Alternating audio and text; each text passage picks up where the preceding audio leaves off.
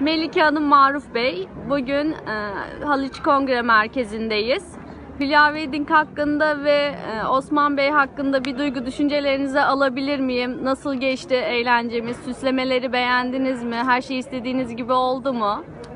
Ee, biz aslında masa tiplerini ve masanın düzen masa düzenlerini Osman abiye verdik. Gerisini kendisine bıraktık.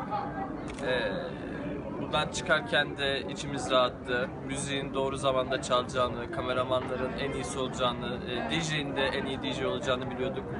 Ee, volkan şovları, süslemeler, e, her şey yerindeydi, zamanındaydı, hiçbir aksaklık yaşanmadı. Ee, Osman abi gerçekten deneyimli, bu işteki deneyimini e, bu gece de ortaya koydu. Bizi de çok mutlu etti. E, hem kendisine hem Hülya ve Dig ailesine sizlere bu gece e, mesela saat 12'ye kadar yanımızdasınız. Hala da buradasınız. Hepinize teşekkür ediyoruz. Teşekkür Bizimle paylaştığınız, bize bu gece yaşattığınız için. Bizler teşekkür ederiz. Teşekkür ederiz. Sağ olun, teşekkür ederiz. Mutluluklar diliyoruz. Sağ olun. Teşekkür ederiz.